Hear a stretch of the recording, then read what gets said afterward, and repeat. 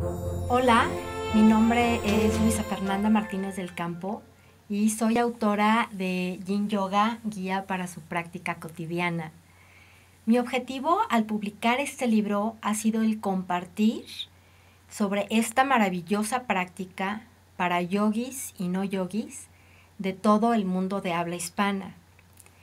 Compartir esta historia para mí ha sido muy importante porque forma parte de un camino, de una visión y de una misión que tengo que es servir a los demás yo sentí el llamado profundo de compartir esta joya que es esta práctica. Una cosa que aprendí sobre mí al convertirme en autora publicada ha sido que no existen los límites cuando algo se desea desde el fondo del corazón. Publicar este libro ha cambiado mi vida porque me ha permitido llegar a más personas de todo el mundo de habla hispana.